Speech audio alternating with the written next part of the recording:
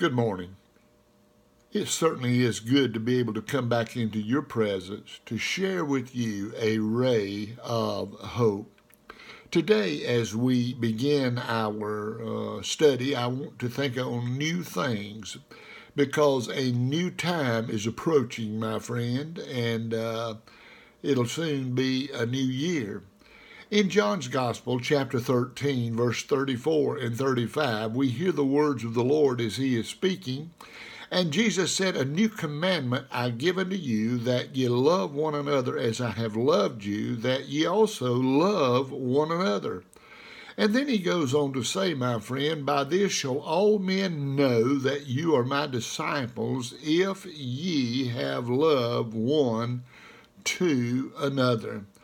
You know, as I begin to think about uh, that scripture, I want to begin our study today by uh, beginning with a series of questions. You know, every day, my friend, every day of your life, you have the opportunity, the chance to love, but do you love? Do you truly love others in total unselfishness, or do you love them because you need them?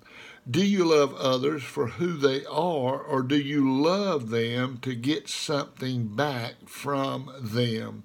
Now, listen to me, my friend. Christ loves you so unselfishly that he gave up his own life for your life. No matter who or where you are, people around you are starving for unselfish and compassionate love. Look deep into the lives of people and you'll know this to be true. Look at the painful, tragic, sad, and joy, uh, joy, joy, joyless. Good gracious, I couldn't get the word out. Joyless existence of so many people around you.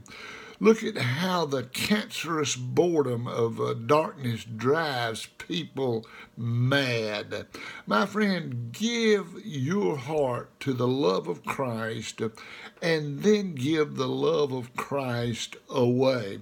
What a glorious, wonderful new life that you'll then have. And what a glorious new time that you can spend giving into the lives of others. Make this one of the greatest years of all as we look forward to this new year coming in, the year 2017. God bless you, my friend, to make a difference in your world. Father, we realize sometimes that we get so wrapped up in our own selfish desires and ways that we forget about others. Help us follow this new commandment that we love one another, O Lord, as you loved us, and that all men will be able to see that we're your disciples because we love one another. And help us, Lord, share this love of Jesus in this coming new year. In His name I pray. Amen.